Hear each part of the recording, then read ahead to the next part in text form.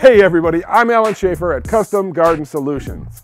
In today's exciting episode, we're taking you to Peoria, Arizona, which is a suburb of Phoenix, to share with you a raised bed garden installation. Now we've already met with the customer to answer a lot of questions and to discuss what they want in a garden to help diagnose what the best garden solution is. What we came up with is a 4x8 raised bed garden that'll be about two and a half feet high. It'll have ledges so that you can sit or kneel on the side of the bed to work in the garden.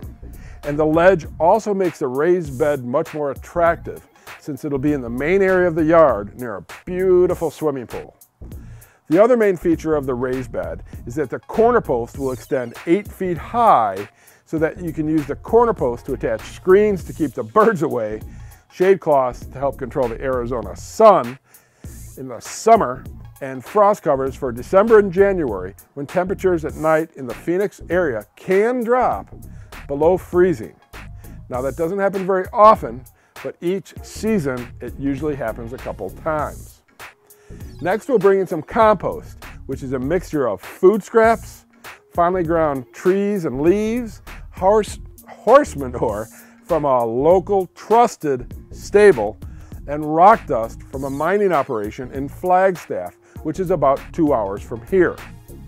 We'll be installing drip irrigation and a timer. And the last thing we'll do today with the customer is to plant the entire bed from seed.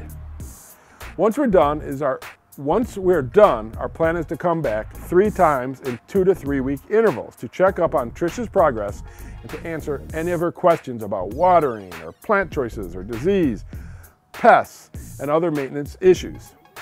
Our goal is to teach her to grow so that she becomes proficient and confident enough that she fires us because she doesn't need our help anymore. It's kind of weird, right? But our business goal is to do such a good job for people that the word of mouth creates referrals. Something to remember is it's very hard to film an episode while focusing on the customer. So please understand this is kind of an overview episode. One of the benefits of our services is that it may take us four to five hours to install your garden, and the whole time we'll be available to talk with you about what we're doing and why, and to answer any of your questions. So let's get to it. Today we're in Goodyear, Arizona. We're putting in a four by eight raised bed. It's going to be about 21, 22 inches tall. It's to include a ledge. Originally we're going to go with a 8 foot 4x4 so they can do some season extension. They can put bird, uh, chicken wire over it, keep birds out if they find they need to. They can put uh, shade cloth over it when it gets into the 100 degree weather here in the summer. They can put poly over it uh, to prevent it from freezing. We're going to go with the 8 foot 4x4 initially. We could always cut the 8 by 8, uh, 8, 8, 8 foot board down, but we can't uncut it. So since the bed's going to be about uh, 2 feet or so, they'll have 6 feet of space above on each corner of the bed so they can attach shade cloth, chicken wire, poly if they need to,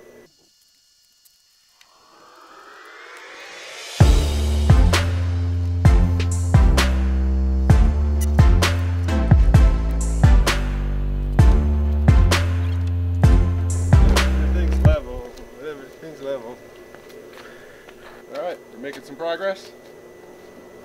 Got the uh, first two boards on.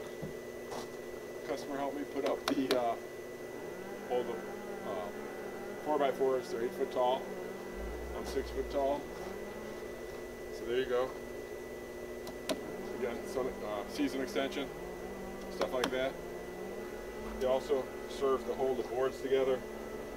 Uh, one secret is I'm going to start bringing in the compost because I can dump it over this a lot easier than I can over when I put the uh, finishing board on the top. So uh, we're making good time now. It wasn't level when we got here. It took forever. A little bit anal about uh, uh, leveling it. I'm kind of a belt and suspenders guy. I know it's only a raised bed garden, but I like everything level and even, at least when we start and uh, it's more likely to stay that way once it's exposed to the weather. So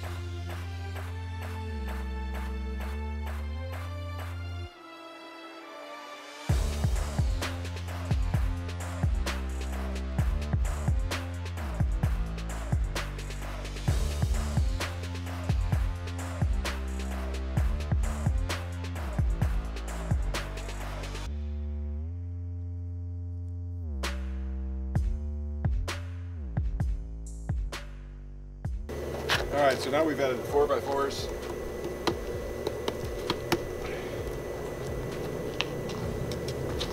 These will serve as a nice way for the ledge to sit, so there's plenty of stability. And also will hold these three boards together, so when the weight of the boards push out, uh, the three boards will act as one, being a lot stronger.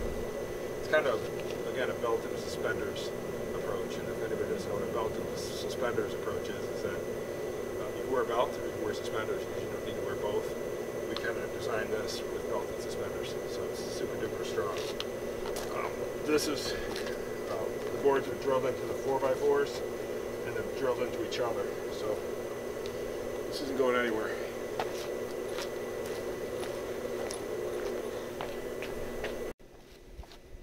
Alright, so this is a pressure regulator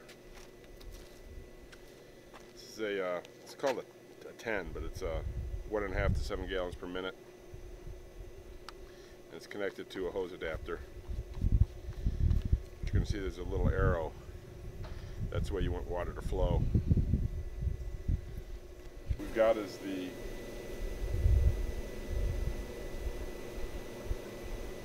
pressure regulator, very important when you're using a drip hose.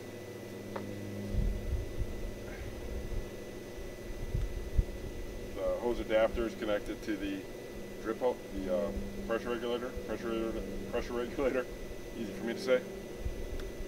Hose adapter. I'm going to put a right angle here so it'll fit over the ledge.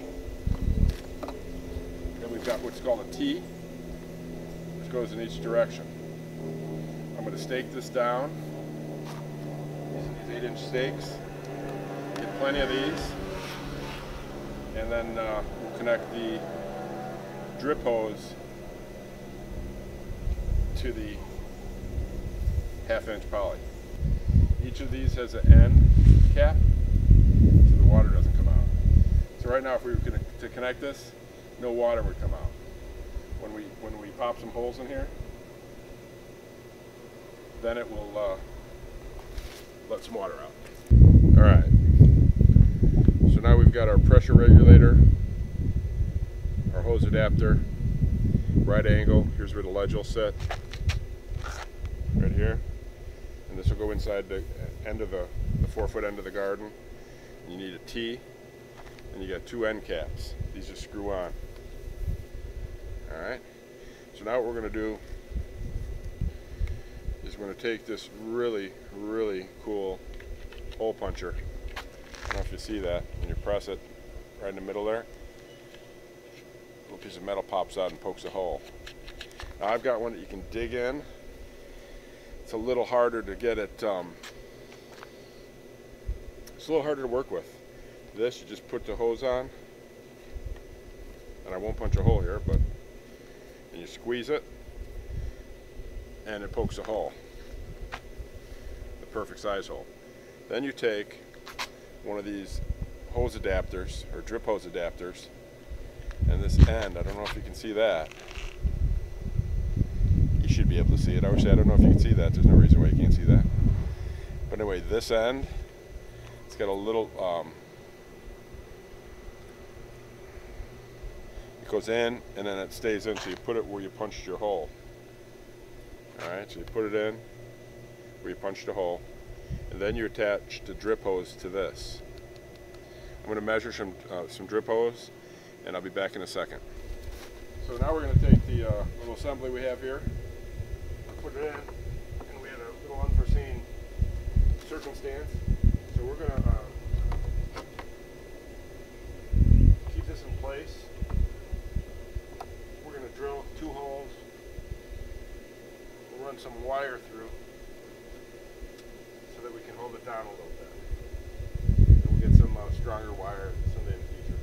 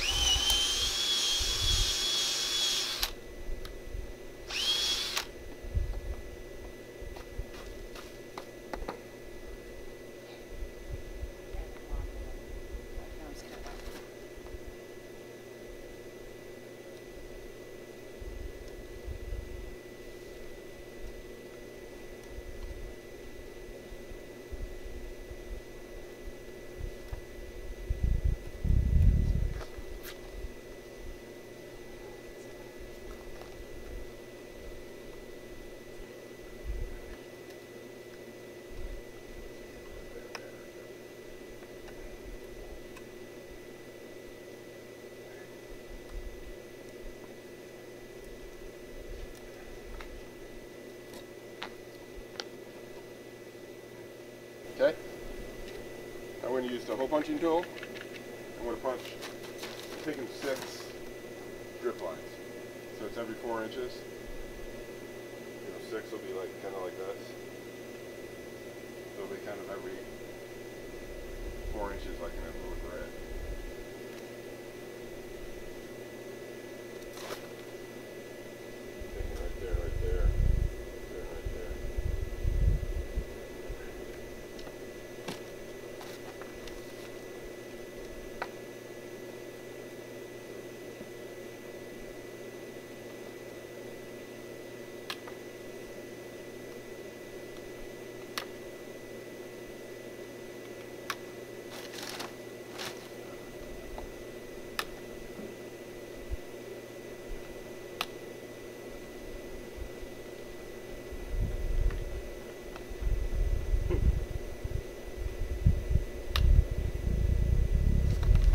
Punched six holes. This thing is really great. Paid a little extra and get one of these.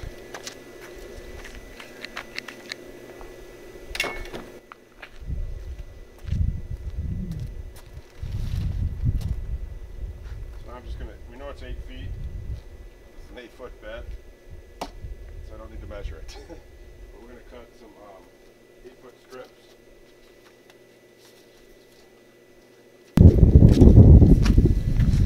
So this is going to go into the half inch tubing. Right here. And this. Just kind of wiggle it on there. Kind of like the other stuff. Just kind of wiggle it on. You can see here's actually where the fitting is. So it's on there a good inch or inch, inch and a quarter.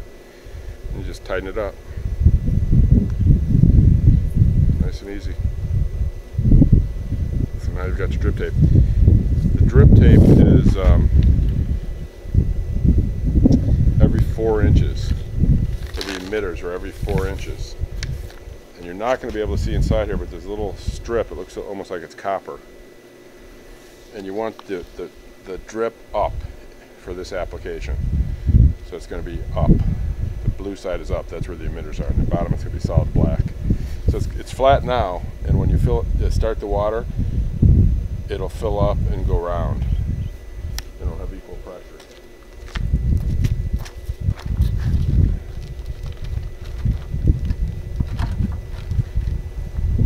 On each end of these, you put an end cap.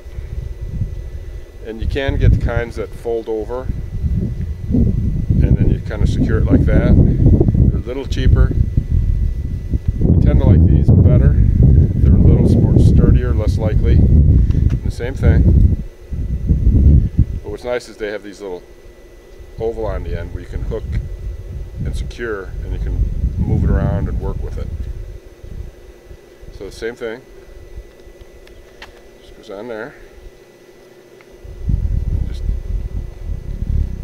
tighten it up.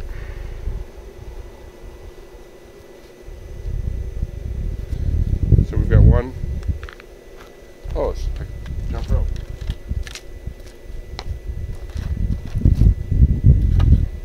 You just take it to where you punched your holes.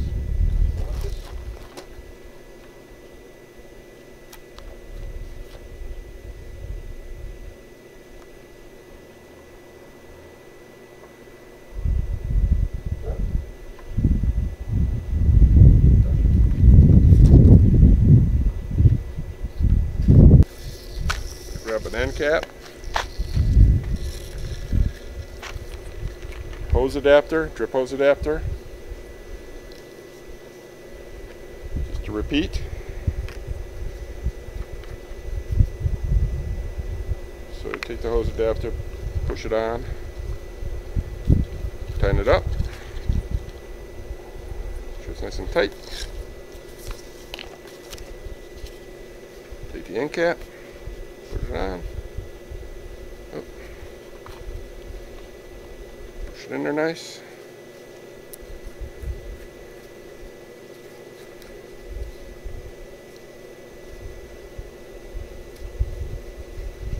Tighten that up.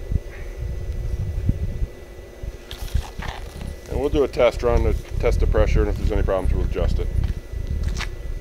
Drip hose. Got the pre-cut holes with the blue side up where the emitters are. Smush it in there. That one snapped in nice.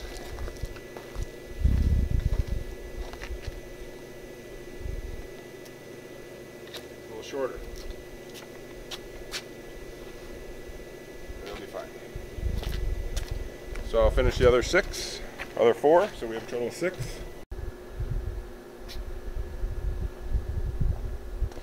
All right, so now we've got six drip lines, drip hoses uh, in place. And I'm just going to stake them down here for Trish.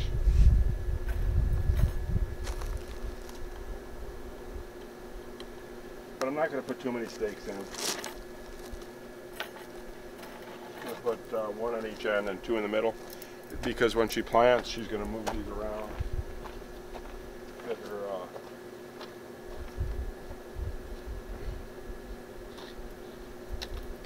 to fit her plants.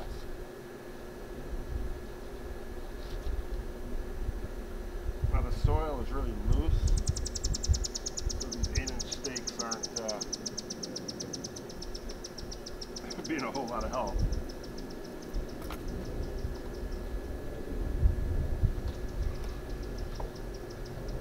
But I'll leave them for her.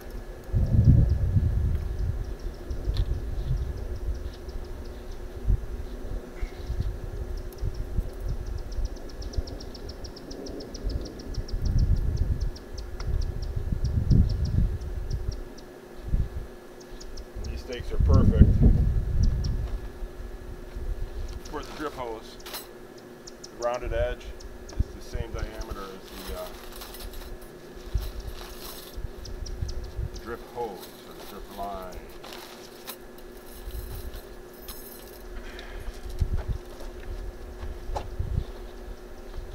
And then some of these, there's a little extra on the end. And you may have to bend this around a little bit. So the little extra on the end isn't going to hurt anything. We've talked about that with Trish, who's the customer here. She uh, she can cut the ends off and put the end caps on very easily.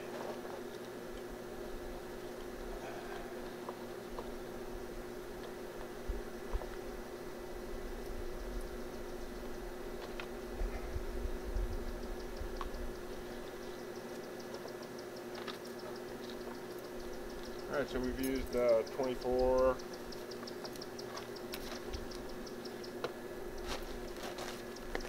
so stakes.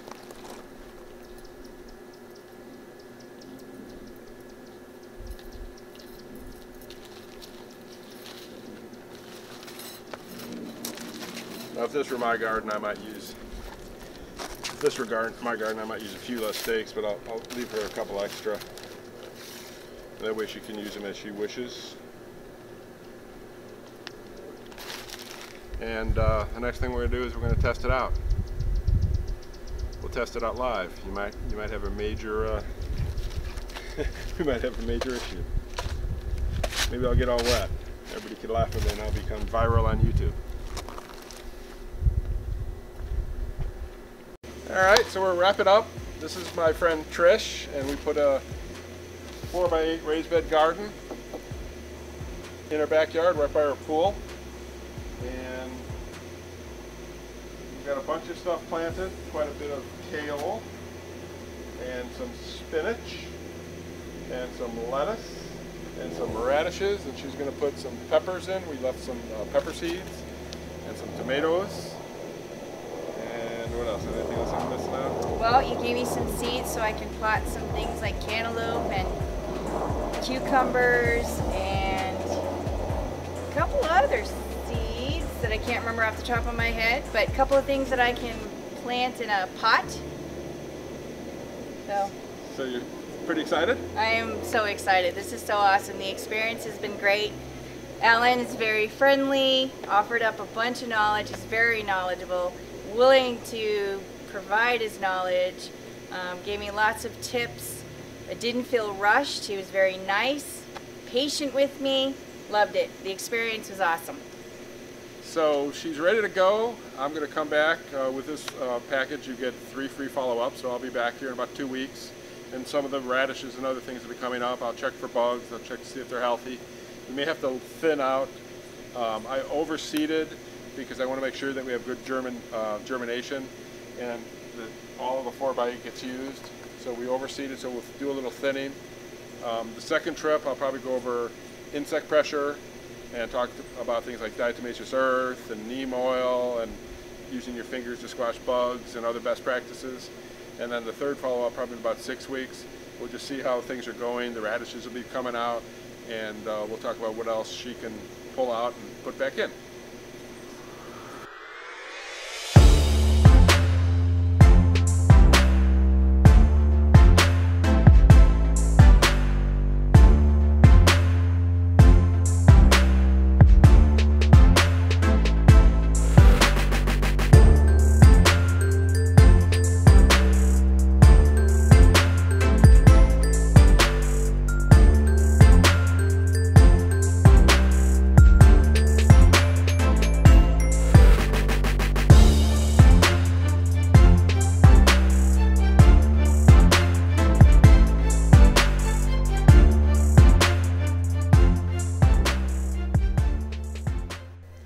I'm wrapping up for the day. I'll be back uh, at Trish and Frank's house in a couple weeks to do one of the three follow-ups.